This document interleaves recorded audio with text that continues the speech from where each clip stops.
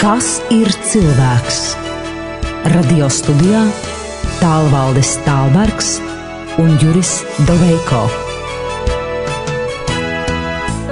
Lai Dievs svētī cienījamie radioklausītāji, priecājamies atkal būt kopā raidījumā, kas ir cilvēks. Es sveicināts Jurijs. Sveicināts. Šodien jauni vārti, un tādi ļoti interesanti vārti - roku vārti. Jā, mums vēl ir daži palikuši. Šis tas par rokām vēl un par kājām jāpasaka, un tad jāsavēl kopā pa sirdi, un tad mēs būsim šai tēmai garām. Jā, roku vārti. Kāpēc roku vārti? Mēs redzēsim, ka tam ir saistība ar iepriekšējo tēmu, ko mēs runājam ar iepriekšējiem vārtiem ļoti cieši. Ar, ar muti un, muti un rokas ļoti iet kopā. Bet, lūk, pa priekšu es pateikšu, ka rokas, nu tā mēs latviešu sakām, rokas, bet, kad paskatāmies Bībeles terminoloģiju, tur ir vesels komplekss ar, ar terminiem, tāpat kā tas bija ar mēlu, arī ļoti, ļoti daudz augslējas un lūpas un, un kas viss. Ja. Te arī ar rokām ir um, liels tāds. Uh, bet būtība ir viena. Vienkārši terminoloģija ir bagāta. Ir ne tikai roka, vai ne jāda un heira, un te ir arī elkonis, un tas bieži tā, vai ne, tulkots arī, ka tā, kā varenais elkonis, un, un tad ir, lūk, plaukstas, un ar plaukstām ir saistīts tādas interesantas lietas, kaut kas ir ierakstīts plaukstās, un dieva plaukstās, ar kaut kas ir ierakstīts, un tur ir pirksts, ir dieva pirksts, ir ir mūsu paceltais pirksts, un, un, un tur ir pat īkšķis. Ar, un interesanti, īkšķim ir liela nozīme. ir pie priesteru iesvētīšanas un, un, un pie, pie tādām vecā derībā, pie rituāla lietām. Jā, jebkurā gadījumā tas ir tāds bagāts, arī bagāta tematika. Mums, mūsu tēma noteikti nav izrunāt visu par rokām un visu par šiem terminiem, tad, tad būs ilgi jārunā. Bet pēc būtības runājot, tas, kas ir svarīgs, lai mēs saprotot šos vārdus, varētu arī kaut ko ar sevi nu, darīt un, un saprast, kā tas darbojās. Un, Kā tas iespaido mūsu? Kā tas iespaido mūsu? Jā. Te ir uh, viens princips pa priekšu. Uh, pirmkārt, ko gribētos teikt, ko mute nosaka, to roka piepilda. Uh, nu, tas ir nu, dieva ideāls. Un, un tas ir arī tas ideāls, ko, ko viņš ir arī cilvēkam devis. Te ir vieta no pirmā ķēniņa, 8, 15 kur Zalamans lūdz, lūdz Dievu un slavē Dievu un atgādina Dievam apsolījumu, ko viņš ir devis ar savu muti. Un piepildījis ar savu roku. Jā, tas tas tā smuki skan kopā divās, divos pantos. Tu esi turējis šos apsolījumus, un tu, tu tos runāji pats ar savu muti un ar pašu savu roku. Tu tos arī šodien piepildīji. Tas ir pie um, tempļa iesvētīšanas. Bet aiz tā mēs redzam um, tādu ļoti būtisku principu, kad uh, rokas ir saistīts ar muti, un tas tā ir Dievam. Un mēs jau esam viņa līdzjūtībā radīti, un, un, un, un, un tad rokas uh, ir ne tikai nu, ne tikai tāds burtisks instruments, ne tikai tas instruments, ar ko mēs taustam, ar ko mēs iepazīstam fizisko pasauli un atšķiram un, uh, lietas, kas ir aupjas un kas ir gludas un tā tālāk, kas ir augstas un karstas.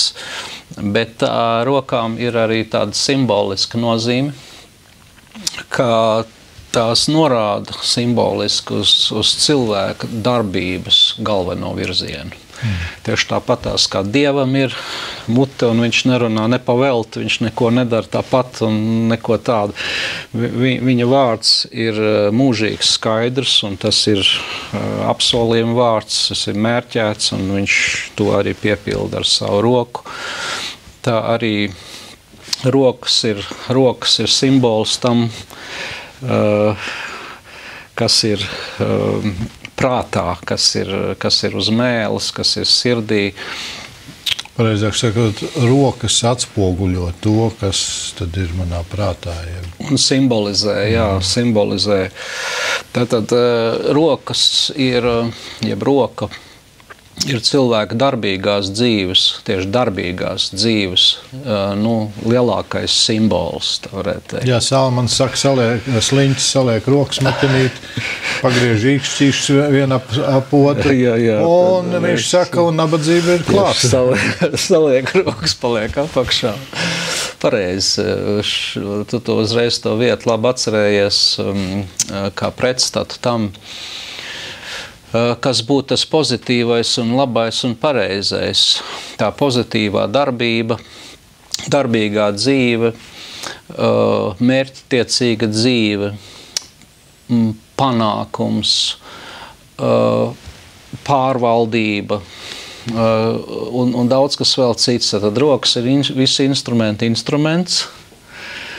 Gan labā nozīmē, gan sliktā nozīmē, gan tiešā, gan pārnestā nozīmē. Tad ļoti un, un, unikāls, unikāls simbols, un, unikāls instruments. Un, uh, katra cilvēka rokas, katra cilvēka rokas ir tiešām kaut kas ļoti, ļoti īpašs. Un tik tiešām, jo nav neviena cilvēka, kas būtu nejauši, nejauši radīts. Eh, kas būtu teikt, nejauši uzradies bez mērķa, bez jēgas, bez vārda, kas aiz, aiz, aiz viņa stāv, bez domas labās, kas ir dievam bijusi par viņu. Nav tāda neviena cilvēka, un ja viņš ir, tad uh, viņa, viņa rokas ir savu veidu tāds nu, likteņa nu, nozīmējums, jeb likteņa simbols. Lab, ir tā cilvēka, tā cilvēka unikāls, unikāls simbols, unikāls tiešām, jo tas saistās ar, ar, ar Dievu pirmkārt prātu. Katram cilvēkam ir tas, ko angliski sauc destiny, tas, tas nozīmējums, jeb tas, tas, mhm. tas, ko Dievs ir pozitīvi nolēms par katru cilvēku, kas ir nu, viņa tas skaistākais, labākais, brīnišķīgākais. Tāpēc Nav vie, līdzīgu cilvēku, un, un tāpēc arī katra cilvēka rokas ir ļoti unikāls uh, simbols uh, viņa dievsveitītam liktenim. Uh, dievsveitītam liktenim. Uh, lūk, un te, un te sākās tas uh, vēl viens interesants moments ka šeit ir counterfeits, tas saucamais um, pakaļdarinājums no tumsas valstības puses.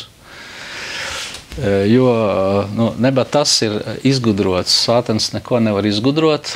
Viņš uh, var tikai mm, iz, izķēzīt to, kas izkropļot, izkropļot izķēzīt līdz nepa, nepazīšanai. Ja? Un ko viņš šeit ir izkropļojis ar savu metodi, ko sauc par hieromantiju. Mm -hmm. Tad hieromantija ir uh, maģijas eh, paveids, kur, kur eh, nolasa rokās, no rokām cilvēku likteni, jā, respektīvi visvairāk no plaukstām. Jā, no, nolas, un tur ir līnijas, un tur ir likteņa līnijas, un tur ir viss, vis, kas tur ir gudri zinātāji, gudrs zinātnes par to. Bet, uh, Protams. Bet kristietis nedrīkst skatīties un, un sākt Jā. pētīt, un tur zini, tur ir tas, un tur ir tas, un, un sākt lasīt šīs te visas hieromantijas un, un, un viss vēl nezinu kādas paveidas. Jā, ja viņš ir kristietis, tad uh, noteikti viņš to nedrīkst darīt un nevar, un arī negrib.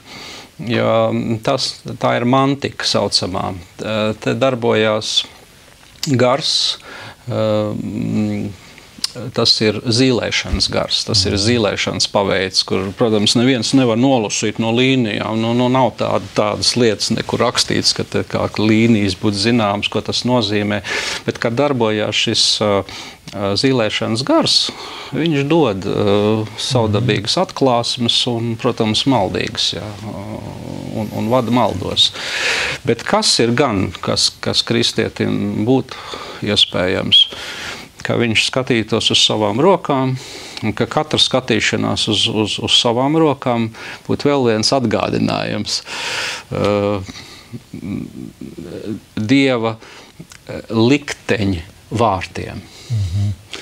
Katram cilvēkam ir, ir brīnišķīgs liktenis no Dieva Kristu vēl pirms pasaules radīšanas. Un rokas būtu tas simbols, ko varat nosaukt par likteņu vārtiem. Tas simbols, kas attēlo to labāko, to brīnišķīgāko, kas ir lemts par cilvēku dzīvi, atsevišķā, konkrētā, jā. par tavu. Jā, par un šeit arī ir jāizšķir, ka, ja mēs sakām, Dievs, Dievu, Dieva liktais liktenis, jeb plāns, jeb, plāns. jeb dzīve, dzīves gaita, tad tas nenozīmē, ka mēs piekrītam, ka liktenis ir lēmis nekādā tev gadījumā. un man jā, kaut ko. Nekādā gadījumā. Jā. To uh, likteņa dzirnas jā, jā. un likteņa lemšana, tās ir visas ir, ir sātana. Uh, būtībā viltības. tas ir cits vārds, bet nu, kā, kā jau katru lietu var izpostīt, kā es, varbūt, ka tu vari palīdzēt. Es meklēju aizvien labu vārdu latviešu valodā. Un, kas aizstātu vārdu uh, liktenis? Kas varētu pateikt to augstāko nozīmējumu, jeb augstāko, labāko dievu gribu. Kas, kas ir uh, dota katram cilvēkam, bet ne automātiski un neobligāti piepildās. Tāpēc, ka cilvēks var arī nu, pretoties viņai. Bet tas ideālais, un tas labais un tas svētais ir, ir par katru par jā, katru cilvēku jā. dievu prātā. Un tā, ja, tur varētu būt kāds vārds, ko kas varētu būt daudz pateicīgāks un skaistāks nekā šis nu, likteņa vārds. Bet ir vēl viena interesanta uh, detaļa, kas saistās ar, uh, ar rokām, respektīvi pat ar pirkstiem šajā gadījumā, kas vēlreiz norāda to, ka jebkura katra roka ir unikāla un, un katrs cilvēks ir unikāls nav, nav līdzīga neviena, un uz to norāda pirkstu nospiedumi. ir tāda lieta. Tā kā grieķu valodā pirksts saucās daktilos, tad, e, tad ir daktiloskopija. Kurš 19. gadsimta vidus ir, ir, ir, ir pētnieki atklājuši, ka var noņemt pirkstu nospiedumus un tādā veidā nekļūdīgi identificēt to vai citu kas ir um, kaut ko darījis. Jo... Bet tas ir apbrīnojami. Tas ir apbrīnojami. Mēs šobrīd septiņi ar pus miljārdu jau dzīvojam virs zemes. Jā. Cilvēku. Jā. Un katram ir savs. Pilnīgi unikāli, neatkārtojami. Nav nekas līdzīgs. Pat iedomājies, pat taviem bērniem nav tas pats, kas tev. Maniem bērniem nav tāds pats pirksts nospiedums, kā, un kā pat man. viņiem nav. Un pat viņiem nav. Un, Kungs, mīļais, kā tu to spēj dabūt? Slavu Dievam, tas ir viens brīnums. Par, par rokām runājot, par pirkstiem, par, par rīkšķiem, jā, tas ir viss, kam mēs pieskaramies šeit. Tas ir vien, viens vienīgs brīnums. Tātad pirksti mm, uz, uz ādas. Āda nekad nav pilnīgi sausa un nekad nav pilnīgi tīra. Ja? Viņai ir dabiskās ceļas un sviedra sāļi, kas tātad visam, kam mēs pieskaramies, visam mēs nododam savus pirkstu nospiedumus, unikālos. Stāties priekšā, kas tur ir pa zemtekstu. Un, um, tāpēc es negribēju tik daudz par šo dabisko daktiloskopiju, uh, cik daudz par dievišķo daktiloskopiju runāt, respektīvi par garīgo šī, šī vārda nozīmi. Jo, ja mēs tā paskatāmies, kad tad, unik, uh, tev vienam ir šie nospiedumi, nevienam nav no miljardiem vairāk tādu. Tātad, un, un tavas rokas ir simbols. Uh, uh, svētībai, jeb tam visam, ko tu vari sasniegt, ko tu vari eh, paveikt Dievam par godu. Un, un dzīvē un nonākt tajā vietā, kur, kur Dievs arī tevi vēlās redzēt. Un tas ir tā, tam simbols, ir rokas. Un tagad pirkstu nospiedumi. Jā, mēs darām, mēs dzīvojam, un nav neviena diena, kur, kur mēs kaut kam nepieskārtos jā, vai nu cilvēkiem, vai lietām, vai priekšmetiem. Nu, tas paliek. To var kriminologi pat izpētīt, ja viņi grib. Bet es ticu, ka tas paliek arī garīgā plāksnē. Tā. Un kad gala rezultātā cilvēka darbi nekur nevar noslēpties. Viņ, viņš, ir, uh, viņš ir redzams. Ja teikt, palaist šeit kādu citu gaismu, tad būtu redzams ļoti, ļoti daudz dažādu nospiedumu. Tāpat ir redzami manā, manā datorā. Viņi ir uh, uz daudzām lietām, un, un daudzām attiecībām, un uz daudz, uz daudz, uz daudz, uz ko. Un kur varētu šajā gaismā redzēt, kur tādu nospiedumu ir visvairāk, kur viņi ir? Kur viņi ir kādās Bībeles lapas pusēs, pie, pie kuriem vārdiem tu kavējies visvairāk, kur tavs asars ir kritušas, ne, kur, un tam līdzīgi, un tā joprojām, tā, nekas nevar noslēpties no tā, ko cilvēks dara, jā, tas, ko viņš dara, tad nāk no sirds un caur rokām iet uz šo pasauli. Kaut ko sasniedz, kaut ko panāk, vai nepanāk, un nesasniedz tieši otrādi. Tad no pirmais tāds lielais simbols, ko mēs varētu vēl par uh, rokām runāt, tad tas ir tas pats varbūt galvenais. Rokas uh, apzīmē Bībelē. Tad pirmkārt, un līdz sevišķi jau labā roka. Tas ir spēks, tas ir cilvēka spēks. Cilvēka vara, viņa autoritāte, arī viņa gods, uh, pirmām kārtām. Ja, un ar to daudz citas lietas ir vēl saistīts. Bet nu, to tā kā, kā tāds atslēgu vārds vismaz varam pieminēt. Tas ir spēks, vara, autoritāte, viņa potenciāls. Jā. Un, nu, Dievs tā tad izved no Eģiptes zemes, viņš parāda savu spēku. Un, kad viņš parāda savu spēku, vislielāko, tad uh, mēs lasām, ka tas notiek vienmēr ar stipru roku, ar paceltu roku, ar izstieptu elkoni. Tad viņš dara savus brīnumus tādu, kur nav nekur citur pasaulē, un nevienām citām tautām nav tāds dievs, kas ar tādu roku var eh, darīt brīnumus. Lūk. Un, eh, tad mēs arī redzam, ka pa tām rokām, kad uh, rokas tavās rokās, kas ir tavās rokās? Uh, tā ir tava piederība. Un uh, arī būt kāda rokās, piemēram, dieva rokās, ja mēs sakam, kungs, Ņem mūsu savās rokās. Ņem savās rokās. Ko tas nozīmē? Ja, protams, mēs varam arī iztēloties, kā, nu, kā bērni. Mēs varam teikt, aizvien vēl, nu, teicis, var neburtiski ņem uz rokām un nes. Un, bet tam ir arī tāda pārnestā idiomātiskā nozīme, ja, ka mēs ieejam Dieva spēkā, viņa autoritātē, ka mēs atzīstam viņa autoritāti un ka mēs sakam, nu, ja es esmu tavās rokās, tad dari meistar, ko tu vēlies. Tad veido mani un dari, tad, tad tu zini, ko tu dari. Jo tavs spēks, tava vara, tava autoritāte pārsniedz manējo, un, un tur es varu tikai būt kā māls, un tu esi podnieks. Šeit arī starp cilvēkiem tā ir Ābrahams teicis Sārai redz, tavu kalponi ir tavās rokās, dari viņai, kas tavām acīm patīk. Rokas, kas nepilda savu uzdevumu.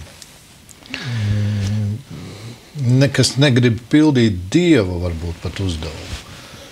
Un, un, un kas, kas tad notiek? Nu, tu, piemēram, pieminēji, šeit arī mums studijā ir liels galds. Tie patiešām būtu interesanti uzlikt speciālo zilo gaismu, infrās violeto, jeb sarkano. Mm -hmm. un, un tad redzēt uh, entos uh, pirkstu nospiedumus. Nu, labi, nu, tās rokas, kuras dievu nebīstās. Tas ir labi, ka šeit ir nu, piedod, ka tādā, palikuši uh, pirkstu nospiedumi no cilvēkiem, kuri ir atnākuši un viņi nav un, un nav pazinuši dievu, jeb nebīstās dievu, jeb vēl jau vairāk varbūt rokas, kas dara pretēji dievu uh, gribai. Un tu sacīji, atstāji tomēr kādas savas pēdas. Nu, protams, uh, rokas, kuras ir dieva svētītas un kuras svētī citu, Un ienākot kaut vai namā, un, un mēs paceļam rokas, lai Dievs svētī šo namu. Mm -hmm. Šī svētība uh, nāk pār šo namu. Jā, jā, jā rokas. Nu. Jā. Un tad ienāk viens cits rokas, sliņķa rokas, un tās tur arī apčamda mūsu galdu un, un, un vēl. Ko ar tām darīt? Tīrīt veikalu nost, pirkstu nospiedumus. Jā, lai bezdīvīgo roku mani nepadzena, jā, tad ir lūkšanas, ko Dāvids arī māca Dievam lūgt par, par svešām rokām. Un, uh, un ar tādām rokām ir rokas arī, ar kuras mums nevajadzētu spiest. Um, paspiest, um, jo rokas spiediens nozīmētu sadraudzību, kopdarbību, kop, kopsavienību, um, padevību arī kādos gadījumos. Tad, protams, tas būtu jāņem vērā un jātur sevi šķīstu no, no, no, no svešām rokām. Nu, bet tas skan diezgan baisi. Nu, tu kā Dieva bērns nu, mīli savu ienaidnieku, un tad tu nedos viņam roku. Mīlēt ienaidnieku ja, ne, neobligāti nozīmē ja, ar, ar, ar viņu brāļoties un, un, un dziedāt to pašu dziesmu, ko viņš dzied. Tu vari mīlēt un kalpot viņam, bet tādā veidā, kā Kristus to ir palīdz, paredzējis.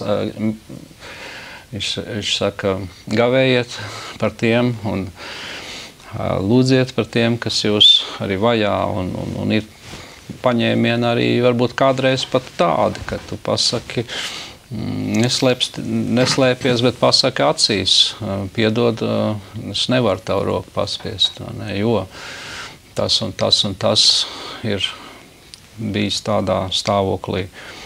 Tātad es nevaru sakļauties ar taviem darbiem, es nevaru savienoties, es nepiekrītu tam, jā, es, es neesmu savienībā ar tevi. Kādreiz ir ļoti nepie, nepieciešams to pateikt. Mēs nevaram būvēt kopā ar jums templi. E, Ezras un Nehemijas grāmatā teikt, samārieši gribēja, bet viņi pielūdz vienlaicīgi arī svešus dievus. Nē, tikai mēs varam celt to templi. Ir arī tādas situācijas. Jā nu, dažādi. Bet pats galvenais eh, šobrīd es, eh, es gribētu teikt, ka roku lūk, šī rokas pilda vai nepilda mm, savu augstāko aicinājumu. Tā, tas nav automātisks process. Tad ir svarīgi zināt, ka Dievs ir katram katram lēmis to labāko un, un, un, kat, katru svētīt tam, kas ir tas ideālais plāns. Bet uh, tas neobligāti automātiski piepildās. Un viens no tiem uh, faktoriem ir nevēlēšanās. Nevēlēšanās, tātad ne, neklausīt, nevēlēties. Un uh, piepildīt savu, savu, savu dzīves aicinājumu, tā ir ļoti, ļoti nopietna lieta. Tā ir skriešana uz mērķi. Un tā nav sišana, gaisa sišana, bet tā ir ļoti mērķtiecīga roku darbība, kur, kā sportistam Pāvils saka, 1. korintiešu deviņi. Jā, visas kustības ir atstrādāts, viņš ir atteicies no visa. Viņš ir arī nu, tiešām koncentrējies uz to mērķi, nevis uz vīstošo vainagu, bet uz nevīstošo. Un viņš zina, ka viņš ir jānoskrien tas gabals. Var jau arī iziet no distances, var arī e, tā, tā, tās rokas citiem mērķiem nodot Tātad pirmkārt var, var vienkārši būt slinks. Kā jau tu teici, jā, zālē man 21 uh, sliņķis mirst, netikdams tālāk par savām iegribām, jo viņa rokas negrib neko strādāt. Ak, vai jā, tā ir traģēdija, ja sliņķis ir, um, ir tra traģiska personība, kurš neko negrib darīt, pat vienkārši savu, savā labā. Un uh, tad ir arī jautājums par to, kam, kurš, uh, nu, kam, kam mēs savas rokas nu, nododam. Ja? Jo ne jau ar, ar to vien, ka es teikšu, manās rokās ir liels spēks, tad es varēšu visu izdarīt, ko nu es vēlos. Ideāls ir tas, ka man, man, mana roka ir dieva rokas pagarinājums. Tieši tāpat kā tas bija Ārons un Mozus, lai izvestu tautu no Eģiptes zemes. Tā bija dieva roka, kas izveda, bet tad bija arī Mozus roka, kas cēla zizli un, un kas um, darbojās līdzi dieva plānā. Un jaunā derībā, vai mana roka ir Kristus loceklis, tad, ja tu zini, ka tu esi Kristus Kristus loceklis, tad tā vajadzētu būt, ka tava roka ir burtiski ņemot, ne, ir, ir, ir loceklis Kristum. Bet e, tas atkal nenotiek automātiski. Mēs redzam, Romiešu 6.13, ka var nodot savus locekļus arī netaisnībai par ieroci. Tad neiet uz mērķi, neiet uz, uz, uz dieva aicinājumu, ne, ne, nesaspringzināt visus savus spēkus, bet var arī uh, darīt kaut ko citu ar savām rokām.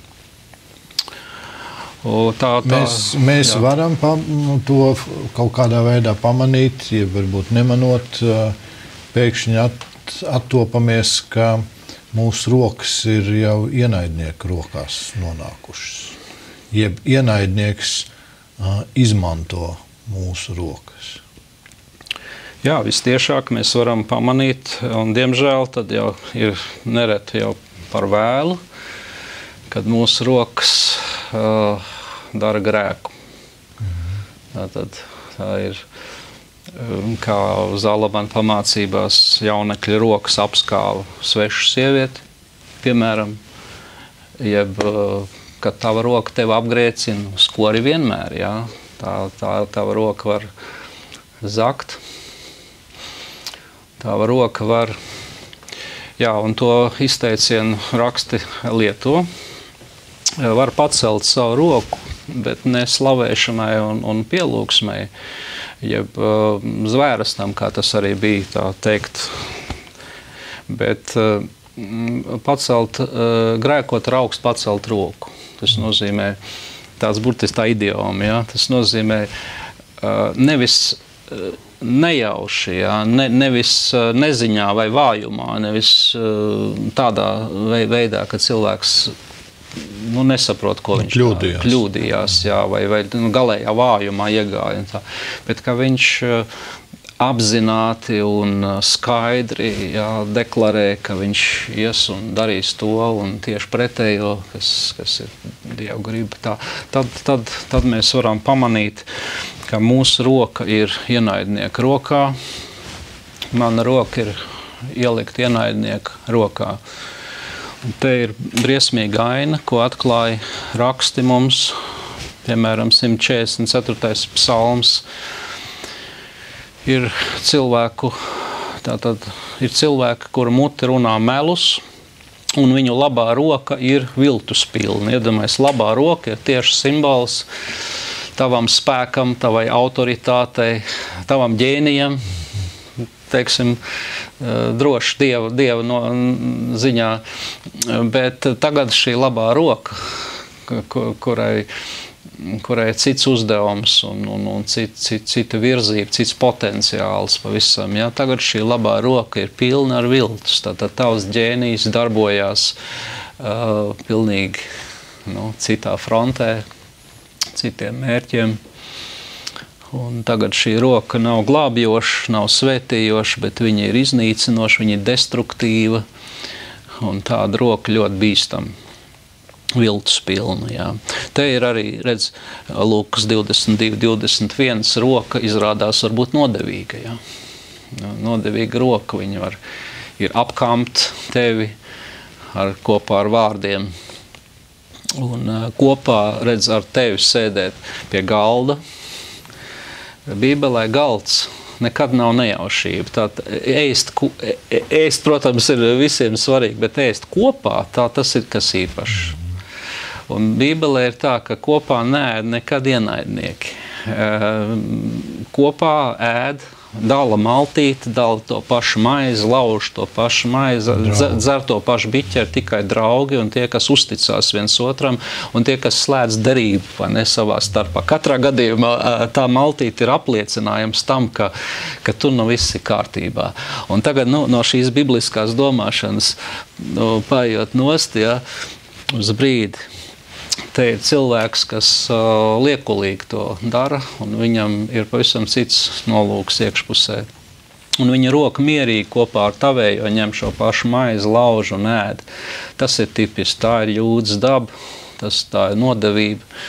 Un kāds biznesmenis man reiz teica privātā sarunā, ka tādas maltītes ir biznesa, tā sauktās biznesa maltītes, tas ir nu, tas veids, kā kādā nu, kārto darīšanas. Un, protams, ka tur attiecības var būt visnaidīgākās, un vis, tie cilvēki var uh, domāt, ar, kā, kā teikts, ar muguras smadzenēm, kā viņš apspēlēs to otru un kā viņš viņam kaut ko izdarīs. Bet viņiem ir viens ēdamais priekšā, un viņi draudzīgi skatās viens otram acīs un runā draudzīgus vārdus. Tā ir nodevēja roka, kas tagad ir pacelta nu, norm, norm, normalitātes līmenī. Nu, ja roka ir kas tiecās pēc varas darbiem, vēl vairāk ir mums, mums ir interesanti runāt, ja vērtīgi, svarīgi runāt kā rokas ir, ir jā, pirmkārt, rokas ir ļoti saistīts ar sirdi. Un, ja teikt, tas, tas dziļākais un svarīgākais orgāns, protams, ir sirds, jo sirdī ir, ir, ir vērtības, tās vērtības, ko cilvēks tur par, par, par svarīgu dzīvē, un kas ir viņa pirmā vērtība, pēc tam otrā, trešā. Ja. Piemēram, visam tam, ko es saku, man nav laika, Ar to cilvēks grib pateikt, tā man nav mana pirmā prioritāte. Jo kas ir tā pirmā prioritāte? Tur vienmēr, vienmēr laiks. ir laiks. Un, tad, un tam ir arī roka. Jā. Tad sirds ar roku ir ļoti cieši saistīta pirmkārt.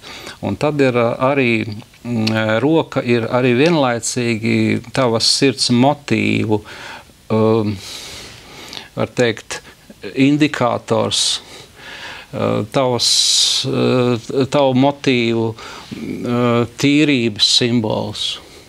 Jo daudzkārt mēs lasām Bībelē, vecā un jaunā derībā, ka cilvēki mazgā rokas mm -hmm. nevainībā. Mm -hmm. Un tas ir izteiciens.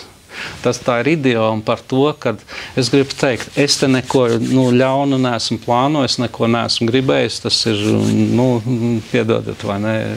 Es te nepiedalos. kā Pilārs. Gan tā nebija taisnība, ko viņš teica.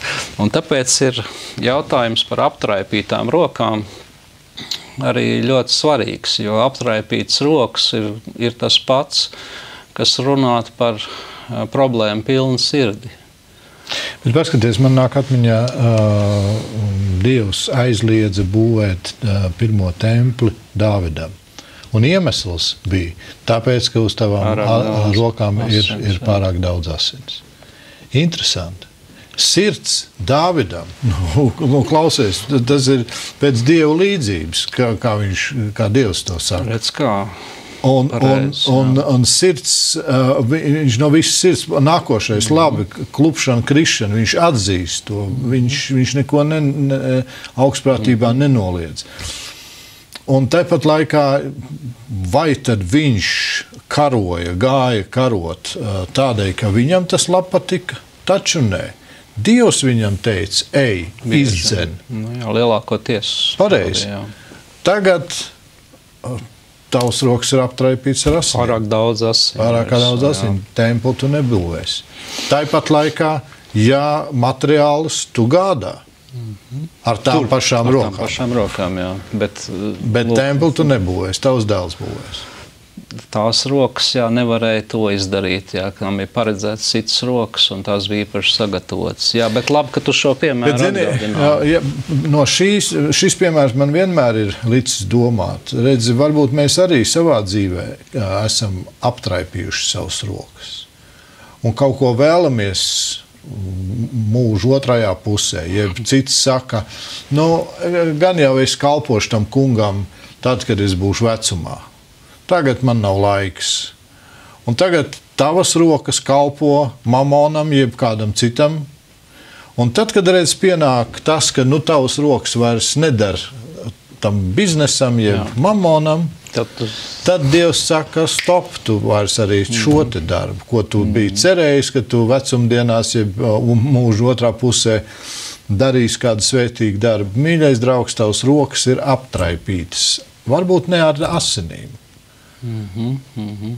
Un tāpēc nu, es redzu to, um, ka tad, ja šodien ir uh, iespēja un, un, un labvēlīgais laiks, kad manas rokas var kalpot kunga uzdevumā un darbā, tad kungs, es uzreiz jānodod, tagad jā, gribu. Pareizi.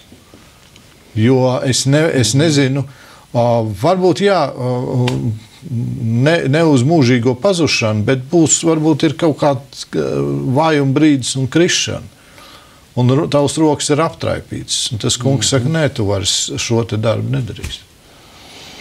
Jā, tas ir par jautājums pirmkārt par konsekrāciju, cik tā ir svarīga un ka ar to ne, nevar gaidīt un, un nevar kaut kādu vēlāk to atlikt. Eh, konsekrācija tas nozīmē nu, nodot savus locekļus, jā, nodot, nenodot grēkam par. Un ja tu esi jauns un tu to vari darīt, tad tu dari to tagad. Un, uh, varbūt vēlāk varbūt savādāka situācija pienākt. Un, Un tas arī, jā, kad šeit tas piemērs par Dāvidu rāda, ka varbūt zinām limiti, jā, zinām ierobežojumi.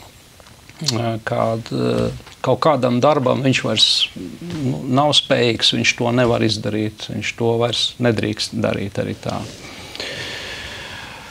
Nu, jebkurā gadījumā mums ir nepieciešama dieva roka, lai mūsu roku varētu izglābt. Tas ir pats galvenais, un tas ir tā ir pestīšanas vēsts, un tas ir tā ir vēsts par Jēzu, kurš uh, man, man šis piemērs ļoti aizkustina. Uh, es viņu praktiski esmu piedzīvojis kādreiz uh, vienā situācijā vēl neticīgs būdams. Es sēdēju pie viena drauga, mēs dzērām alkoholu un bijām jau stipri ierēbuši. Viņš kaut kādā sakarā atšķīra grāmatas kaut kādas, un tur bija viena bilde par, par slikstošo Pēteru un par Jēzus roku, kas mhm. izstiepjās un satver. Es nezinu, kā, es, es nav, nav, nav izskaidrojama racionāli es to ieraudzīju, un eh, man kaut, kaut kas notika manā sirdī, un es gāju vēl mājās, arī vēl vis, aizvien vēl tādā nedaudz reibumā, bet jo vairāk es par to domāju, jo, jo vairāk es sāku raudāt, man sāka asaras birt, šī aina man nu, vienkārši satriec, jā, to, kad, kad ir slīkstošais uh, Pēters un uh, Jēzus roka, kas pastiepjas viņam pretim. Uh, tā Dievs dara. No otras puses, ir arī nu, mūsu atbildība, kad uh, kādās situācijās ir arī vardarbība pret savu roku. Uh, ir jādara vardarbīga ir, ir jā, rīcība. Jādara vardarbīga, vardarbīga rīcība, jā, ka tā žēlastība nav pārprotama tādā veidā, ka nu, Dievs viss izdara manā vietā. Viņš man palīdz, viņš man izglāb, viņš man izrauj no dubļainām dūņām, bet arī par savu roku es esmu atbildīgs. Un, ja tā roka tevi apgrēcina, tad nocer to un met prom.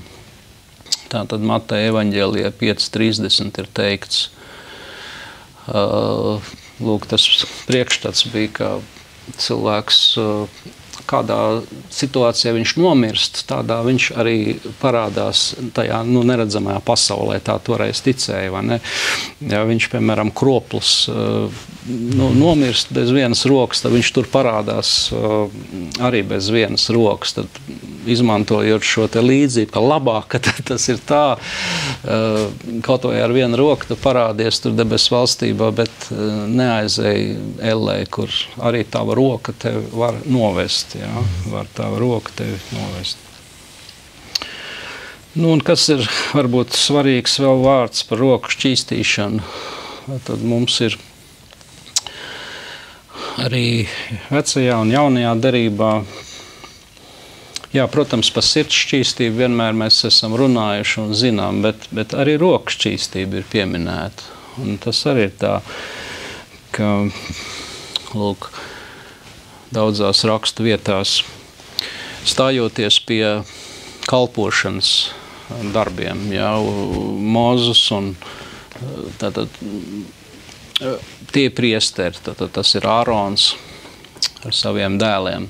Lai tie mazgā savas rokas, tad savas kājas, lai tie nemirtu, stājoties pie nu, svētās kalpošanas, ja, tad tur ir prasīta šķīstība, jā, lai tu glābtu citus, lai tu satvertu citu roku. Tev nu, tavai rokai ir jābūt ir, nu, tīrai rokai. Kalpošanas darbs prasa šķīstas rokas. Uh, Te ir tas, kurš attēlots, kurš kāp kalnā, kurš kāp tā kunga kalnā. Uh, tas ir tas, kuram ir nenoziedzīgs rokas un skaidrs sirds. Tad divas lietas iet vienmēr kopā. Ja? Nav tikai sirds, bet ir gan sirds un gan rokas. Tas ir tas darbs, ko, ko dara visticīgi cilvēki, kā saka 73. psalms. Jā, es mazgāju savas rokas. Viņš ir katru dienu strādājis pie savas uh, svētapšanas.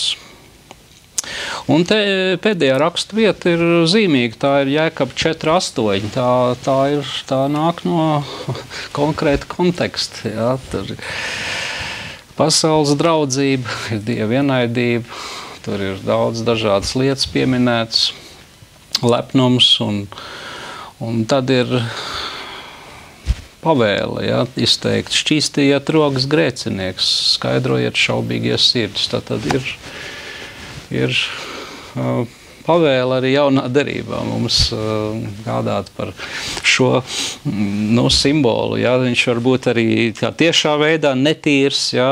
Tas var būt iespējams, kad viņš ir burtiski ar rokām cilvēks ir grēkojis. Tur ir netiešā veidā. Tas ir saistīts ar viņa dzīves darbību, viņas dzīvi, viņa dzīves virzieniem, kas ir aizgājuši nepareizi, tad sirds un rokas iet kopā. Kas varbūt vēl ir eh, pieminēšanas vērts, jā, kad eh, rokas ir, ir tāds garīgās cīņas instruments. Garīgās cīņas instruments, ka um, dzīvi, viņš manu elkoni mācīja karot un manas rokas uzvilkt varu stopu. Ļoti patīk tas, tas ir tāds simbols tādai garīgai cīņai, kad es um, mācos uh, karot garīgi. Ja? Tāpat tās kā man fiziski ir rokas, un, un tur ir jābūt zināmai prasmei, lai apietos ar, ar ieročiem, ar, ar, ar, ar instrumentāriju. Tā izrādās cilvēkam ir garīgās rokas. Un šīm garīgām rokām, e, secinot pēc laika, kurā kur tu esi pavadījis ticībā, ir jābūt pietiekoši izveicī, izveicīgām, lai, lai turētu vairogu un zobenu. Un, un mācīt apieties ar to. Bet tas ir tas, ko lūdz dziesminieks. Lai tas kungs māca cīņas mākslu, garīgās cīņas mākslu, lai man pirksti ir vingri, lai mans rokas ir spējīgas cīnīties. Lūk. Nu, jā, un te, te vēl, vēl viena tāda lieta, kas palaid garām, tā atbildība, kas, kas ir prasīta no rokām. Teiksim, tavas rokas interesanti ir ir atbildības rokas. Tagad uh, atbild, viņa, tavas rokas atbild par to, ko tu esi savā kalpošanā darījis vai nedarījis. Ja Dievs ir uzticējis uh, praviešu amatu, jeb vienkārši vārdu uh, sludināšanas amatu, un tu to esi darījis, tad, tad tavas rokas ir tīras ziņā. Bet, ja tu neesi darījis, rakstīts, atprasīšu viņa asinis no tavām rokām, Ecehils. Mm. Tad ļoti liela atbildība, kur gulstas interesanti tieši uz tavām rokām. Jā, noteikti turpināsim nākošajā raidījumā. Ja tas kungs mums atļaus, paldies Jūri tev, Dievs žēlastību un svētību. Vēlu jums cienījamie radioklausītāji un atkal mums ir par ko domāt. Varbūt nekad neesam domājuši par to, kā nāksies nest atbildību pat par mūsu roku darbu jā, nāksies nest atbildību. Un šodien jau mēs redzam, vai mūsu roka darbs nes svētību, vai varbūt roka darbs nes kādam postu, lai Dievs pasargā. Uzticēsim savus rokas viņam. Un tad mēs vienmēr būsim svētīti. Lai Dievs jūs bagātīgi svētī. Visu labu!